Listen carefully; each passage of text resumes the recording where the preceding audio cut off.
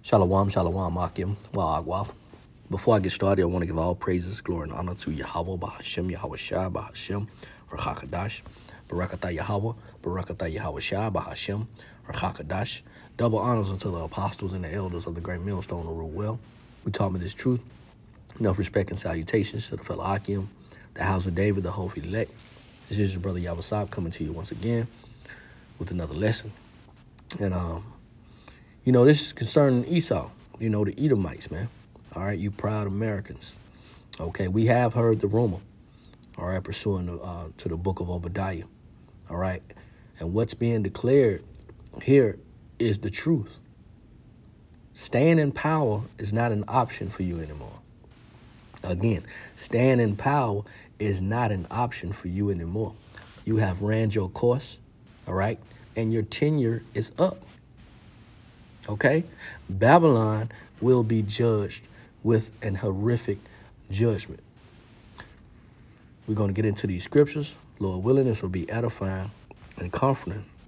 Since that's been said, let's go ahead and go to Second Esdras, chapter 6. We're going to start at verse 7. And it reads, Then answered I and said, What shall be the pardon asunder of the times, or when shall be the end of the first, and the beginning of it that followeth? Now, when you go back to the book of Genesis, chapter 25, understanding the two nations was in Rebecca's womb. One of those nations that came out first, okay, was uh, the progenitor of the Edomites, which is Esau. The second came out, which was Jacob, our forefather. All right?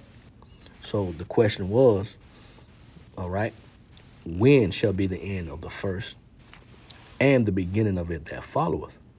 Verse 8 And he said unto me from Abraham unto Isaac when Jacob and Esau were born of him, Jacob's hand held first the heel of Esau. Why? For Esau is the end of the world, and Jacob is the beginning of it that followeth. And the world that we're in, all right, in an ocumented sense, uh, is is over. Okay? All right, this hard shift, this hard transition to a digital based society, all right, will come to naught, thus saith the Lord. They're not going to be able to crown their enterprise a success. They're not going to be able to enjoy their houses forever. All right? Again, they have ran their course and the tenure is up. Let's get this scripture real quick in the book of Ecclesiastes 7. All right. And this is what we hope for. A matter of fact, yeah, let's go to 7. so uh, Ecclesiastes 7 and verse 8. Better is the end of a thing than the beginning thereof. And the patient in spirit is better than the proud in spirit. Right there, you have two dynamics. You have the patient and you have the proud. The patient are the Israelites on the highways and hedges, serving the Lord with all their heart, mind, and their body, making their bodies a living sacrifice, proclaiming the truth, okay? Faithful to the word, according to the gospel, the law, and the testimony of Yahweh Shem Yahushua, we will speak according to this. Okay? Those are the two dynamics, and what we're what, what the scripture's saying here is better is the end of this thing that we speak of. You see that? Babylon the Great, aka America, right? We know that it will be judged with a horrific judgment. And the end is going to come with a big boom, man. You see that? As the scripture named it, uh, according to doom. Let's get that. Uh, the book of Second Esdras, chapter 7. Let's scroll down. Let's jump down to verse 43. It reads, But the day of doom shall be the end of this time Better is the end of a thing. We're just going to go out with a bang. All right? According to the scriptures, according to Revelation chapter 18, the Lord is going to return with the host, the host of host of, of, of angels, man. Innumerable amount of angels are uh, uh, tearing shit up, kicking Esau, Edom in the ass, man. And, uh, and of course, these heathen nations, right? It says, and the beginning of immortality. The scripture told us in 2nd Esdras 6 and 9, Esau is the end. And Jacob is the beginning. Beginning of what? The scripture tells you right here the beginning of immortality for to come, wherein corruption is past. This is why we haste in the Lord, the coming of the Lord and Savior, Yahweh Bahashem Yahushua. We want immortality. We want crowns. We want to rule under righteousness. We're tired of this wicked place, this wicked kingdom. Let's continue. It says intemperance is at an end, infidelity is cut off, righteousness is grown, and truth is sprung up. And this is what being declared. What's being declared is the truth. The true nation of Israel, which uh, uh, uh the Lord has revealed unto us, name, his name, the Lord has revealed unto us, all right, through the Spirit uh, the 12 tribes that are scattered, the Israelites that are scattered abroad. All right? We are in a very privileged position to know these secrets, man. For the Lord to even uh, bestow his secrets upon his servants, the saints. Okay? So that that being unfaithful to Yahweh Hashem Yahushua, as it says in the scriptures, every knee shall bow when he return. And it will be so. All that unfaithfulness the scripture also tell you that you're going to die in your unfaithfulness, man. Okay? That shit is going to be cut out, cut off. Rightfully so. Righteousness is grown. All right? And it's grown by the word, man. It's grown by the truth of Yahweh Bahashem Yahweh You see that? This is the day that's coming. The day of what? Doom. And, and it's at this time, at the end of this damn wicked ass society, his wicked rulership of Esau Edom and his constituents. You see that? What's, the truth is out here and it's not returning, man. Let's go there. Let's go to the book of Isaiah, chapter 55. And it tells us in verse 10, okay? For as the rain cometh down, and the snow from heaven, and returneth not hither, but watereth the earth, and maketh it bring forth and bud, that it may give seed to the soil and bread to the eater. So, all right, shall my word be that goeth forth out of my mouth, according to the law and the testimony, man. This is what we speak of. It shall not return unto me void. I mean, it's dropping. The rain don't go back up. The snow don't go back up to where it came. All right. If you have any any uh, idea about gravity, you know this this word is being planted, okay, and it's being planted by the one by, by the ones that's on that good ground. It says, "But it shall accomplish that which I please, and it shall prosper in the thing whereto I sent." And the Lord has sent His word. You had men gravitate to the word. You had men fall out of the word they was gravitated to. That's neither here nor there. That don't make the word of the Most High without effect, as it says in Romans 3 and 3. Okay? The word is doing what the Lord said it's going to do, man. Okay? And the Lord was declaring these things from the beginning. You understand? Let's get that. Um, the book of Isaiah, chapter 50, uh, so like chapter 46, um, and verse 10. Let's read this. It says what? Declaring. this is a declaration, man. uh, uh, from above. Declaring the end from the beginning. Better is the end of this thing, man. This this vile and unpleasant thing. Okay? Such as the nation of Esau, Edom. Declaring the end from the beginning and from ancient times the things that are not yet done what, what are the things that was declared in ancient times? Hey, read the book of Obadiah. Read the book of Malachi. Okay? We've heard the rumor from the Lord, man. We understand that we need to prophesy of these things, okay, to come, because the Lord has revealed us to uh, his secrets, man. All right? Uh, he, he revealed to us the things that belong to us, okay? Let's start from the top again. It says, declaring the end from the beginning and from ancient times the things that are not yet done, saying, My counsel shall stand, This is the stability that you need in these wicked and troubling times that we're about to embark on. We need stability.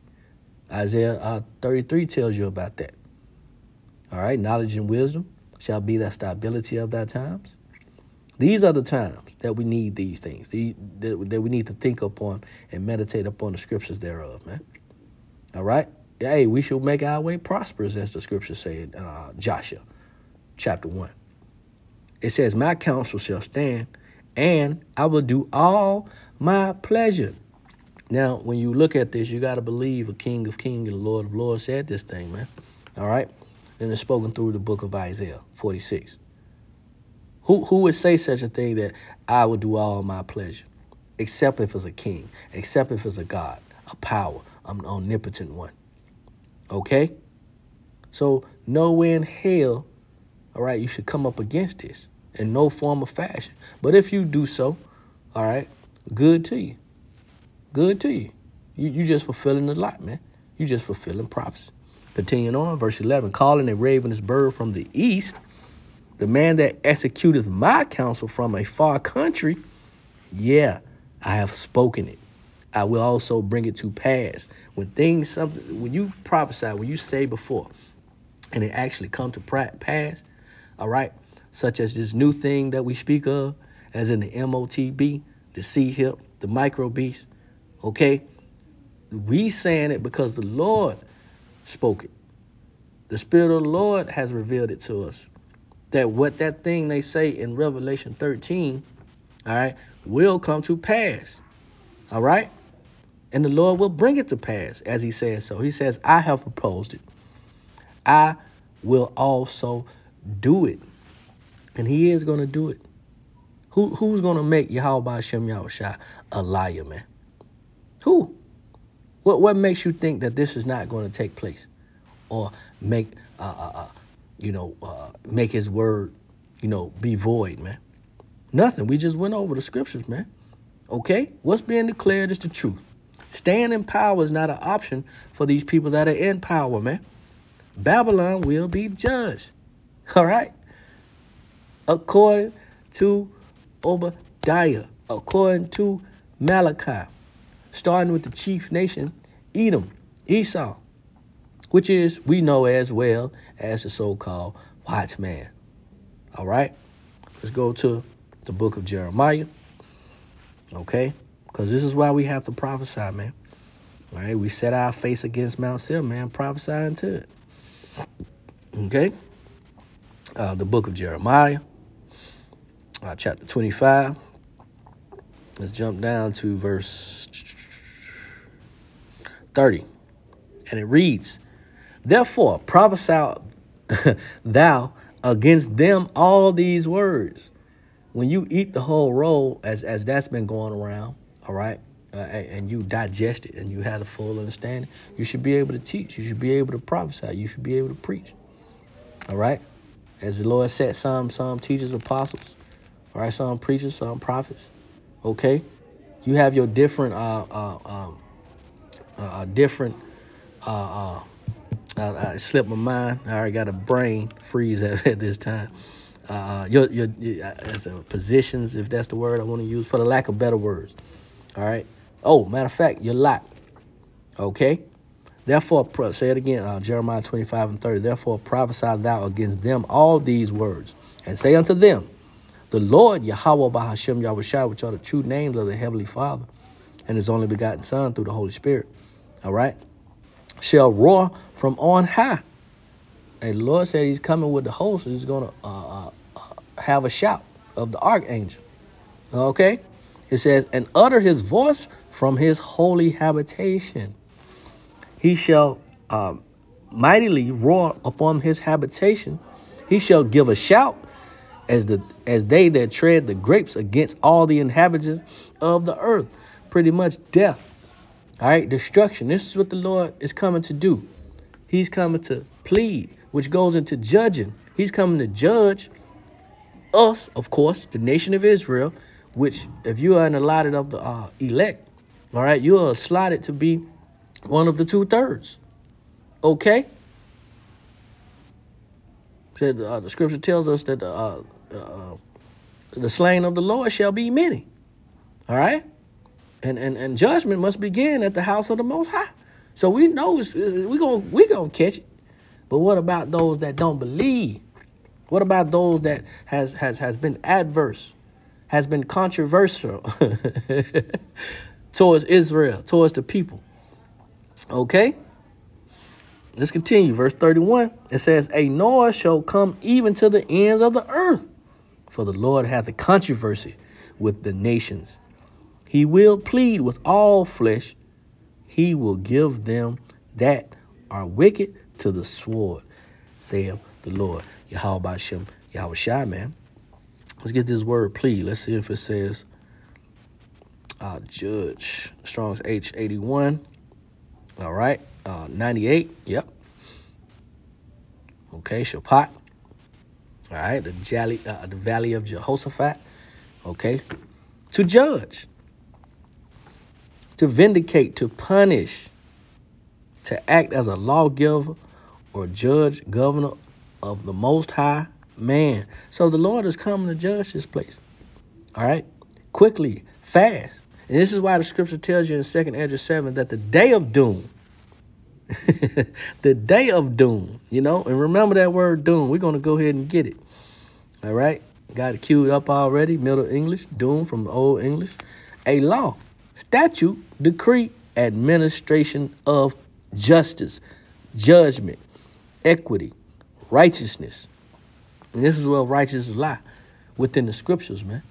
And those of you take hold on this, all right, you do well. Okay? So going back, Jeremiah 25, 31. And it says, uh, I'm going to start from the top. A noise shall come even to the ends of the earth. For the Lord, Yahweh Shem shall have the controversy with the nations. He will plead, judge with all flesh. Each and every last one of you creeping, crawling, walking things out there, man. He's about to judge you. The Lord is coming with judgment. In the fierceness of his anger, fury, he has built up wrath, and rightfully so. It says, He will give them that are wicked to the sword, saith the Lord. And the sword, uh, the ultimate sword, which is the ultimate plague, are those nuclear missiles. And when they begin to be shot off, and when they begin to hit their destination, it's going to be some noises. It's going to be a lot of lot of noise, man. All right? It's, you ain't going to have time to go to Best Buy and get some earphones, some AirPods, some earbuds. No, man. All right? Only the elect in that day will be sealed from destruction, man. Will be covered. All right? And this is the room of Yahweh Shem Yahushua, man. All right? We know that very well, man, because we fear the Lord. And it starts with his name. Let's end it off in Job 24 and verse 24. And it says, They are exalted for a little while, but are gone and brought low. They are taken out of the way as all other. As all the way. You got kingdoms out there. If you read the book of Daniel, chapter 2, you understand about the statute, man. All right, about that dream. Okay? We understand the head of gold, uh, the silver of, of, of, of the arms, okay? The, uh, the, the, the of bronze, okay? Down to the iron, down to the uh, uh, uh, clay mixed with iron, man. We understand we at that end. This is why Jacob held the head, uh, held the heel of Esau, man. Better is the end of this age, this rulership, man. Okay? Than the beginning of this rulership, man. All right? Again, they, they didn't have their tenure. It says they are taken out of the way as all of the Greeks fell, the Romans fell, right? The, the uh, Egyptians, you know? Okay, the Persians, Medes, the Babylonians, okay? Now it's time for Babylon the Great to be judged. You see that? And it says, they are taken out of the way as all other and cut off as the tops of the ears of corn. Verse 25, the point. And if it be not so, that's like. And if it be not so now, who will make me a liar and make my speech nothing worth? No one has the power to do so. You have this this this guy trying to mix mix machine and man, going to transhumanism, saying speaking on things he ought not, that he know nothing of.